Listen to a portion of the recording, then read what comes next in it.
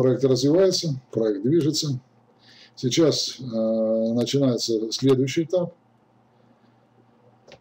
Приобретение нового технологического оборудования следующего этапа на определенные техпроцессы. Потому что, ну, ясно и понятно, что э, то оборудование, которое было приобретено, нас смонтировано, проходит этап отладки, часть уже отлажена, часть уже задействована в технологических процессах, часть уже дает результат.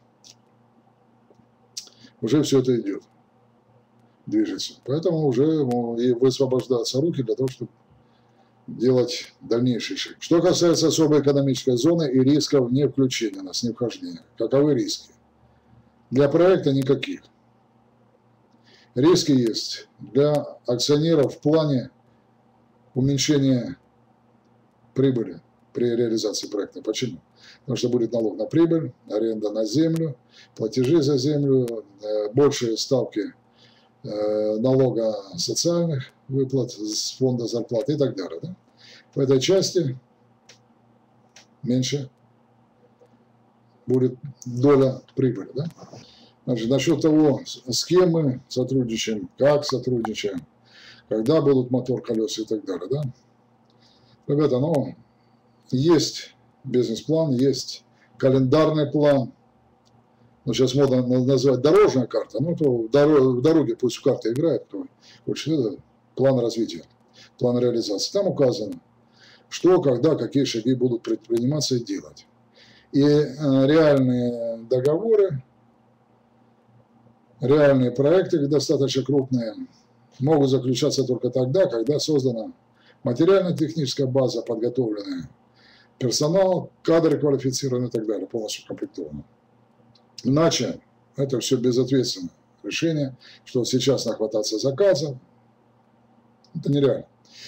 Некоторые заказы, конечно, мы сейчас рассматриваем, ведутся переговоры, подготавливаются договора и так далее. Небольшие заказы, работа ведется над ними, в том числе работа инициативная, пилотная, которую мы по собственной инициативе затеяли по разработке и проектирование новых двигателей. Эти работы выполняются. Я думаю, что первые двигатели у нас в ноябре уже станут на стенд и будут проходить тестирование. Это двигатели общепромышленного исполнения и специального исполнения. Работа эта ведется, и сейчас вот уже выходим на финишные этапы, для того, чтобы уже конкретные двигатели были изготовлены. Так что все это движется. И программа минимум реализуется. Дело в том, что вот проект, он уже может в миниатюре существовать и в этих рамках. Но это неправильно. Это экстенсивный путь развития. И можем очень долго карабкаться, очень долго карабкаться, наращивая бизнес. Поэтому надо выполнить все-таки все то, что намечено в программе реализации проекта, все это надо выполнить. И я думаю, вы уже сами видите, что да, мы все с вами вместе можем решать задачи. Можем решать задачи. Значит, Павел рассказал про письмо, из, э, которое к нам пришло, пришло о присвоении буквенной части децимального номера вот, ну там, да, есть опечаточка, ну в шапке она правильно записана, в реестре тоже правильно, поэтому тут ничего страшного нет. Но из классификатора пришло такое вот уведомление официальное.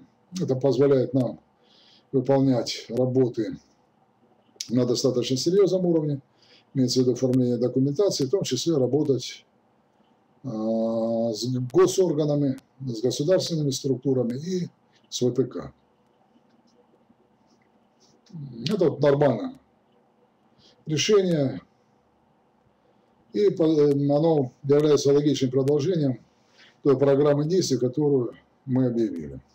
Кроме того, кроме того, я сейчас брошу вам ссылочку. Есть у нас такая организация, ДЭПОР, вот, называется Департамент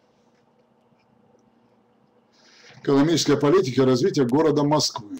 Ну, это, собственно говоря, правительство Москвы орган, который, в частности, и занимается вопросами рассмотрения проектов всевозможных коммерческих, в том числе этот департамент рассматривал и нашу заявку на резидентство в особой экономической зоне Алабушева.